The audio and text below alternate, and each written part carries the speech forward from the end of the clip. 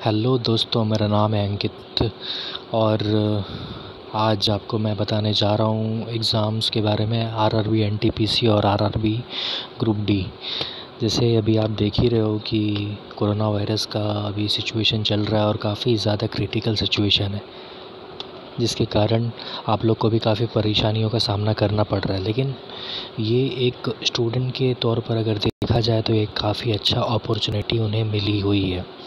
अगर आप चाहें तो अच्छा खासा पढ़ाई करके आप एग्ज़ाम क्रैक कर सकते हो और एग्ज़ाम क्रैक करना कोई भी मुश्किल बात नहीं है। तो जितना हो सके उतना ज़्यादा से ज़्यादा टेस्ट सीरीज़ लगाइए और एग्ज़ाम्स के प्रैक्टिस कीजिए। तो ये इसके थ्रू आप एग्ज़ाम निकाल सकते हो। सो मैं आपको बहुत बहुत विश करता हूँ कि आप अपना फ्यूचर में जाके कुछ अच्छा करें। और एग्ज़ाम क्लियर करें। तो अभी फ़िलहाल मेरा मोटो ये है वीडियो बनाने का कि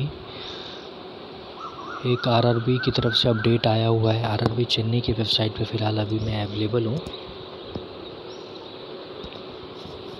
तो ये वेबसाइट पे देखिए, मैंने जो अपडेट है वो मैं डाउनलोड कर लिया।